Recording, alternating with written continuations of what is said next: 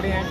इस तरह के लोगों ने इतनी मेहनत की है एफर्ट की है जमान पार्क में वहाँ पे इन्होंने एक जंग का समा देखा है। आज इनकी जब मेहनत रंग लेके आई है कि यहाँ इधर मीनारे पाकिस्तान में आके ये इतना हजूम देख रहे हैं, अपने कारकुनों का, अपने लोगों का तो ये इनके इनके क्या तासरात हैं? इनसे जरा पूछते हैं? जी सर। बसमीम अहमद नवाज़ सबक parliament secretary P P forty six Tehsil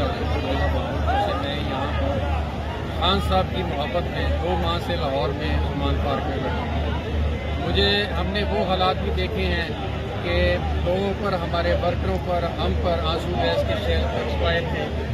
उसके बाद पानी जो केमिकल डाल के इन्होंने फेंका हुआ था।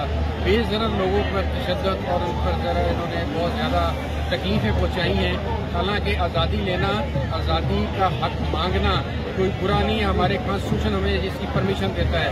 हम कॉन्स्टिट्यूशन पर अमल करने वाले लोग हैं। मैं सबक सूबाई पार्लियामानी सेक्रेटरी हूँ।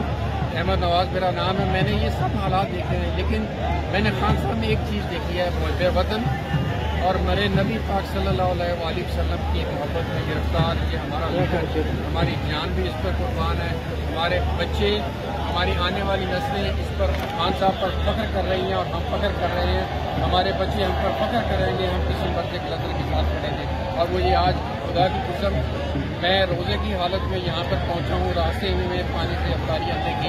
आपकी आँखें क्यों नाम होती जा रही है? थोड़ा सा मुझे बताएँ हमारी उस हकीकत की असल वजह मैं आज आपको बता दूँ, मेरे खान ने जिस तरह अदाओं में वकूता में मेरे नबी पाक सल्लल्लाहु अलैहि की हरमत में दबंग अदा से बात की और मेरा लीडर जिस तरह मदीना पाक में बगैर ड्यूटी के वहाँ पे उतरता था, वहाँ नज़ारे मेरे नबी पाक सल्लल्लाहु अलैहि वसल्लम हरम पाक में हाजिरी देते थे। हमारी असल अकीदत और मोहब्बत की वजह उन्हीं के साथ है। हमें उन्हीं में अपने पाकिस्तान का मुस्तबिल नज़र आता है, क्योंकि कायद रहमत के बाद हमें ये वाद लीडर मिला है जो हमारे लोग बच्चों के मुस्बत के लिए हमने तो अपनी ज़िंदगी गुजार ली जाए जो बाकी रहती है हम गुजारेंगे अपने खान के साथ। हमारे आने वाले वक्त में हमारे बच्चों के मुस्तबिल के लिए खान साहब की मेहनत करें।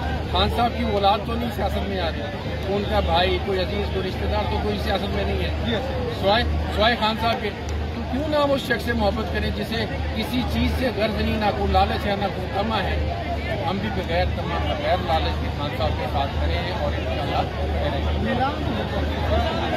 निगरान हुकूमत का जो कायन कॉन्स्टिट्यूशन और काइन मैं लॉयर भी हूँ तो उसमें एक स्पेसिफिक उसका एक लिमिट रखी हुई है निगरान हुकूमत के। नाइन्टी डेज़ में उसे इलेक्शन करवाने हैं और इलेक्शन के लिए सहूलियात फराम करनी है, ना कि उन लोगों को इम्पोर्टेड हुकूमत को सहूलियात फराम करनी है और ये तबादले करना लोगों पर तशद करना ये नगरान हुकूमत का काम नहीं है।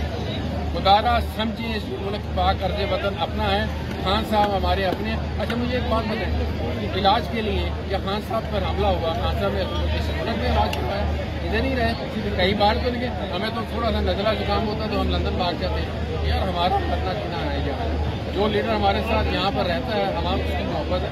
तो इंशाल्लाह इंशाल्लाह आप इलेक्शन जीतते हैं। अल्लाह करे इलेक्शन हो जाए लेकिन होते नज़र नहीं आ रहे।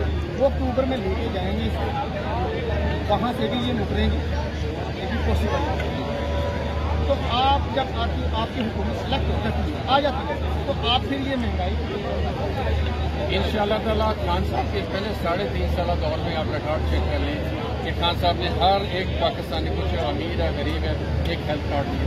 जिसमें स्पेसिफिक एक लिमिट है, जो अमीर भी इस्तेमाल कर सकता है, गरीब भी इस्तेमाल कर सकता है। बस जिम्मेदार हूँ, काश्तकार, मैं खुद काश्तकार हूँ। जो है बम्पर क्रॉप्स हुई हैं, और उसके साथ साथ उनके रेट भी इतने अच्छे थे कि लोग खुशहाल हुए। लोग दोबारा उस तरक्की की पट्टी पर चढ़ने लगे थे। यहाँ पे आके लोगों ने स्टॉप किया, और हमें उस दलदल में उस गहराई में फेंकी यहाँ हम निकलने का सबक निकल या एक बात ये बता दें इन ताला हमारा खान दो ये से दोबारा वापस आएगा। हमारी ये